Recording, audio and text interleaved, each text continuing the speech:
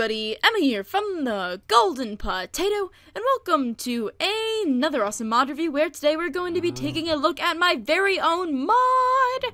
It should be amazing. I don't know why I sang that last note. I think I was too taken by the awesomeness of it all that I just I just had to burst it out into song. But anyway, we're going to be uh, reviewing this mod today, and I'm going to be showing you the crafting recipes and all the little things you probably didn't know if you had just downloaded it and started playing it yourself. But of course, I'm accompanied by Frank. What would a mod review be, especially one about golden potatoes, without Frank? How are you doing, buddy? So you might notice a few strange things offhand, but I will make sure to cover those. And to show you the crafting recipe so that you can go and incorporate this mod into your survival mode as well. I'm using not enough items. Uh, this mod right here, you might you might recognize this from somewhere. Probably a lot of other modded survivals use it, just like um, I don't know my Crazy Craft series. and uh, that will be how I show you the crafting recipe. So without further ado, let's get into the Golden Potato mod, mod, mod, mod. That's an echo because it's it's so epic. I don't know. Get pumped. I'm pumped. Anyway. The basis of all of your crafting recipes are probably going to go uh, and surround these four items. Uh, so we have our golden potato ore, which as you can see is pretty abundant in this special biome, but it is also in between the rarity of diamond and gold, and you have to find it below block level 32 if you're mining on an ordinary day in any cave in any biome. It'll be pretty low above the ground, or below the ground I should say, but you will need to find this magical ore. Now obviously smelting it will get you one of these. This is a golden potato ingot. So you get one potato ingot for every time you smelt a golden potato ore, and they are pretty rare, the ore that is. Um, but as you can see, the ore itself is uh, very nice and filled with potatoes. They're like potato chunks inside. Um, they are pretty rare unless you find one of these biomes here, which have an abundance. They're always below the surface, as you can see, always below the surface and they're also extremely durable, but you will need a diamond diamond pickaxe to mine them. Mm. But they are pretty durable, almost as durable as obsidian, if not more. So smelting those will give you golden potato ingots. Now you're going to need these to craft. Oh, the golden potato. I had to sing again, I'm sorry, but to craft this, you're going to need eight golden potato ingots to surround a single potato, which you can get. And this is these are regular potatoes you can get from villages and start your own farms. And the golden potatoes are quite expensive considering the rarity of the golden potato ingots if you can't find this biome here, but that is because most of the stuff in this mod is a very powerful, if not better than diamond, so you just might have to look really hard because it'll totally be worth it. And then you can take things a step forward by making reinforced golden potatoes, which have like an iron barring around them, and that's going to take one golden potato, but then an additional four iron ingots, in the middle sections here and gold ingots, four of those in the corners. So those are going to be the basis of your crafting recipes for most things. So the first thing we'll probably take a look at are these awesome things right here. These are tools and weapons. So we have the standard golden potato sword. Um, this is plus 20 because it takes two golden potatoes and a stick, and it's very, very powerful. So let's just take this for a minute. If I wanted to slay this dirt potato beast, one hit would kill him. And did I mention that the sword spawns lightning? No, I did not, but now you will find out. Um, anytime it hits an entity, um, let me just set the time today. It will basically light it on fire. So this will turn pigs into zombie pigmen, and this will turn creepers into supercharged creepers. But it'll also allow things to drop cooked meat, and you'll look absolutely epic because the sword itself is very broad and has like cool spiky bits on the end. I designed everything uh, as well. And then we have the golden potato pickaxe, which also does plus 18 damage, but it's very swift to make work of even the most durable ores. So let's go grab some obsidian. See how quickly it mines some obsidian, shall we? Let's go into game mode zero and see how quickly it mines this ore right here. Very makes very quick work of the ore. And as for the obsidian, it takes wow, making quick work of that obsidian right there. And yes, there are achievements that I've created as well that we can go over very soon. But as you can see, making quick, quick work of obsidian. Wow, that's amazing. And it, will mine stone like uh, regular pickaxes, but totally worth it. And to craft that, you're going to need the standard pickaxe recipe, but with golden potatoes at the top instead. Now we move on to the, some of the fun ones. I probably should grab myself some test dummy pigs for this. Let's grab ourselves some pigs. But we have four specialty weapons. We have the Potato Staff of the Wind, which does do a little amount of damage. But to craft that, you are going to need, let's see, two sticks and a potato on the end on a diagonal like this. And this doesn't do much damage, because that's when you hit a mob, it'll be flown up into the air, and the majority of the damage it takes will be from falling. So you can just whisk everything away, up and away, and it'll all fly into the air and fall and rain beautiful, beautiful pork chop. So that is the Staff of the Wind. Potatoey, obviously. There's a little bit of potato tip on the end there. But uh, it, it will do its best to lift things up in the air, and you can watch them come crashing down. Fun stuff, right? A little morbid. we'll put the remains of the pork chops away. We also have the fiery potato blade, which, uh, as you may guess, light things on fire. to craft this, you're going to need a stick and three golden potatoes, but you're also going to need a flint and steel. So that gives it its fiery aspect. So look, it just lights things on fire. It does do um, the same thing as a stone sword, plus 5 attack damage, but now your mobs will drop cooked goodies instead of uh, raw ones, which I think is pretty darn awesome. And there are flames spewing out of the hot potato core center thing. Unless we have the ultimate Sword of potato, which looks quite intimidating. It costs uh, a lot of golden potatoes, reinforced golden potatoes, that is, surrounding a regular golden potato sword. But it is all worth the expenses because it does a plus 24 damage. It doesn't have any special effects. It's just straight up really, really aggressive. so that is that. Okay, so where were we? Just wrapping up the Ultra Sword of Potato. Like I said, once again, very standard sword, but super powerful, and also, as you can see, really, really expensive. You're gonna need a lot of resources to build this, but it won't have the lightning effect, so it's totally, totally worth it. And lastly, we have the potato of Boom Boom, which is an animated texture of, if you can see, a potato with TNT wrapped around it, exploding. And to craft this, you're going to need 5 TNT dispersed in the corners, and in the middle sections, 4 golden potatoes, and that will give you 16 potatoes of Boom Boom. And these are explosive projectiles, so you simply right click to throw them, and it will explode. Now, as you can see, I can't explode this lower layer of blocks here, these uh, golden potato ores, because they are as durable as obsidian, but I can explode this tree in two or three hits. It's not terribly overpowered, but we can wipe out this whole flock of uh, special mobs here.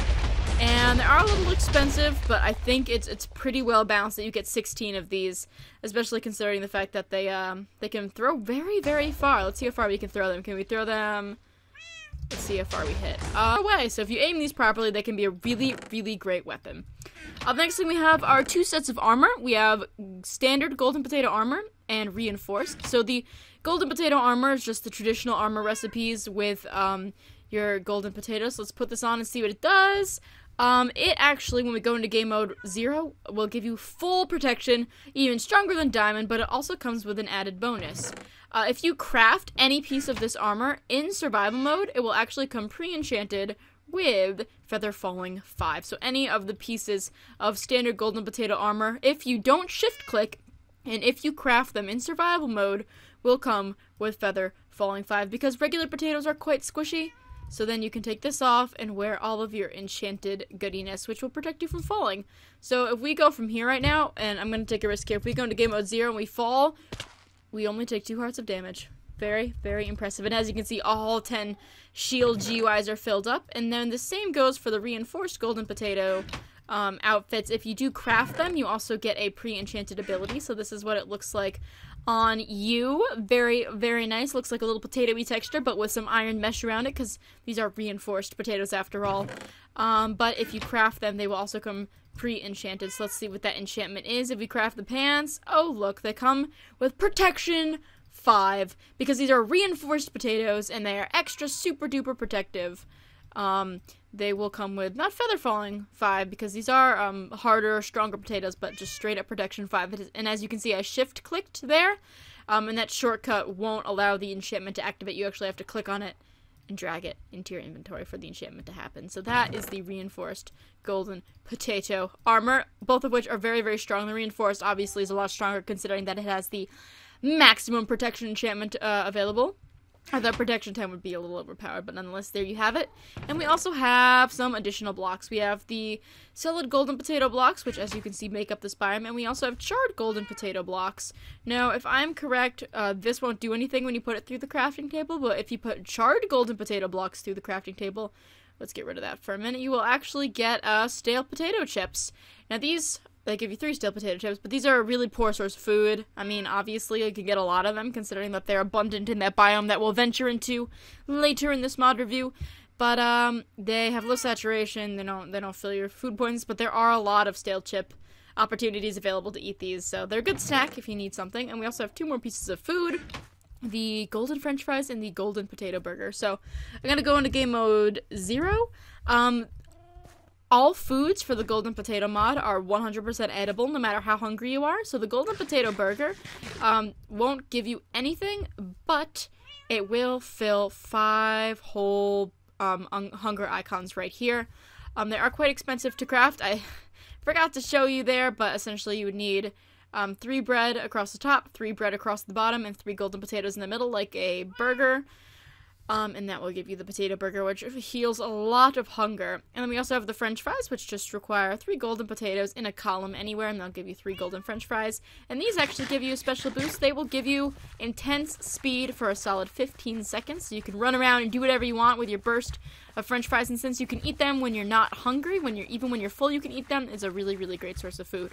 I also forgot to mention that the stale potato chips do have a chance, a 20% chance of giving you poison. Um, but that's because they are so abundant. Anyway, that is that. I don't want to do the poison test now, but you'll get my point. And lastly, we have the biomes and the mobs. So we have four mobs in total. Uh, okay, so let's take a look. First is the golden derptato, be- derptato beast. This is the cow that we've all come to know. Let me grab this sword here. This is the derptato beast. It's quite derpy. Most of these mobs are tameable with golden potatoes, so you can breed these and make little baby ones if you wanted to, which would be absolutely adorable. But killing them, they have a chance of dropping regular potatoes and also a one to two stale potato chips. So let's see if he'll drop anything else. Same drops, obviously another potato, another stale potato chips, and all that jazz. So these guys are passive. They will spawn in this biome and a few other forest ones, but they will spawn in the largest groups in this biome right here. The next we have is the floating potato monster. This one's a little dangerous. There it is. It's a potato ghast. Now, it will shoot fireballs, but it won't have as large a radius as um, the ones in the nether. And when they drop, they'll actually drop some pretty valuable things sometimes, which is why they can be so dangerous. They spawn mainly in the two potato biomes, although you can find them um, in other biomes as well. They dropped these bad boys. They dropped reinforced golden potatoes, which are quite expensive to craft, which is why if you want to take on one of these, it might be worth it because they drop like one to three reinforced golden potatoes every time, which, as we remember, can be quite, quite expensive. So there you have the floating uh, potato monster. It floats, it will fire at you, it's quite aggressive. They spawn in groups of two to four, mainly in this biome, um, especially because of all the valuable golden potato materials. You're gonna need a bad guy but that is that. And then we also have the golden potato creeper, which is like a standard creeper, except it will burn in the daylight and it will shoot arrows at you. So I'm not going to show that. Obviously, killing it will just drop standard potatoes. They're pretty abundant and they act like skeletons, but they are a little bit faster. Maybe if it turns to nighttime, I can show you again the golden potato creeper. As you can see, it is um, a creeper, but with a goldeny potatoy texture, and they'll drop potatoes. And also, because they do shoot arrows at you instead of explode, they will drop bows and arrows like uh, typical skeletons. And last but not least, we have the Sir Derpington of Potatoton, which is my my favorite mob. Here it is, right here. This guy is derpy, and he is tameable with golden potatoes. And then you can tame him, and he will follow you around. Now they are quite fast, and they will spawn here. Um, potato beasts are obviously the most abundant. They're a great source of food, and also potatoes. If you can't find any villages nearby, if you want to craft your golden potatoes. But uh, let's grab ourselves some extra golden potatoes. I believe they were in here. Yeah, and let's just crank the music down a little bit because that can be a little bit annoying. And if we go over here, we can tame this guy. So let's tame him with our golden potatoes. He is tamed to us now, and he will follow us. So let's create a little army, shall we? Some more derpingtons of Potatotons. Let's tame them. They tame like wolves, and then they will follow you around. So I think these guys, one of these guys is going to follow me right now. The other two are sitting. They don't have different textures, but if we just right-click them once, they should both be off following me, and they will um, help me. That, that one doesn't know what he's doing, but these two will follow me and they'll teleport. Up there they are. And when I get hurt, they will actually begin to attack. So if I spawn a creeper, it won't burn. And then if I go into game mode zero, it'll try to shoot me, help me. Oh no, I'm getting attacked. Well, guess what? My good guys will come in to help me, and they will help me destroy the the potato guy. And they do a lot of damage too. They're actually pretty powerful. Um, they don't have separate animation textures for sitting, but uh, I think it's totally worth it. And as you can see, the potato, the potato creeper shot his arrows at me, but my derpingtons came to the rescue because I tamed them. Quite an expensive tameable thing. You can't, uh, you can't breed these guys like the derp derptato beasts, but you can get little baby derptato beasts. Let me see if we can get them to breed here. Let's just tame them. Um, tame, tame, tame, tame, tame, tame, tame. Uh, you're not taming for me, are you? Is it with regular potatoes, maybe? Maybe you guys tamed with regular potatoes. Uh, they're not taming for me right now. We'll work that out later. But the last thing is the biomes. So the very first biome we have here is, if you look up right here, um, the second to last line on the left of, of like Cody information and stuff, it says the Golden Potato Lands. That is the name of this biome. Um, very flat. This is actually a fairly small one. Um, but it comes with these potato blocks on top, solid golden potato blocks. Um, pretty decorative. They just act like dirt. They're kind of like a dirt material. You can just mine it with your hands. And the filler layer are these abundant, abundant uh, golden potato ore blocks, which can be quite rare to find unless you strike this biome. And the other one over here we haven't gone into yet, but this is the spooky uh, potato forest, I think that's what it's called. It is called the Spooky Potato Forests. Very tall spruce trees, great for building. Villagers will also spawn here, as you can see, and occasionally an iron golem, but also because it's darker, it's naturally going to be more hostile and it's a bit more hilly. Um, the top block is grass, and it's actually a pretty rainy, fertile area. But the filler block is this dark, charred golden potato here, which will also be a great source of those stale potato chips. But as you can see, oh no, there's baby zombie going after the villager! Run! Anyway, it can be quite a dangerous place, especially because there's so much shade even in the daylight. But if we are to go above the trees here, you can see that it would be great for building tree forts, since the tallest trees go up to 80 or 90 blocks tall. Very thick canopy, very dense uh, amount of trees per chunk. I think this is the tallest tree so far, and you can just chill here. And this is actually where we're going to end out this video. So hopefully you learned the recipes and you learned the little intricacies of my mod. If you do have any questions, I'll be happy to answer them in the comments. And hopefully, I'll have the recipes up on my Planet Minecraft entry that is at this time still waiting for approval, so you can always check back to that forum page or this mod review if you want to check out the crafting recipes or learn any more about the mod and stuff. And also keep in mind that I am doing. Oh, Ha- what what are you doing? he just fell. Oh, there you guys are. Let's uh, let's get you to sit there. Anyway, um, I'm also making another version of this mod with fan additions, recommendations based on you guys. Now I can't do anything too advanced yet, but if you want to see a character of your own creation added into this mod, or perhaps you um, want to see hmm, what else might you want to see? I don't know any idea of yours in this mod. I'll be also creating a separate edition of this mod with all of the core items that we see in this creative tab right here but with the addition of your guys' ideas. Um, i have one person who's given me their idea so far that i've been able to implement. Some things might be a little complicated but i do try my best to make sure that your dreams can appear in this very mod and then you can go and download it and play it yourself. So currently we have about 20 downloads of this mod, which is pretty darn awesome, and I'm waiting to hear back on how my mod trailer did in the Youth Digital Summer Blockbuster competition. You can also check out the trailer if you haven't already. It's it's a pretty recent video, but on that note and those public service announcements, I'd like to end this video here. So thank you so much for watching. If you happen to enjoy this video, then please leave a big fat thumbs up. And also, if you are new to my channel, then please consider subscribing to The Golden Potato today for frequent Minecraft videos. If you do have any suggestions, questions about this mod, or comments for additions uh, to the fan version, then please leave them in the comment section below. And it's been Emma and Frank, who I sadly abandoned back in the potato lands back there. But uh, it's been Emma and Frank from The Golden Potato, and of course, Sir Derpington. And I will see you all next time. Goodbye.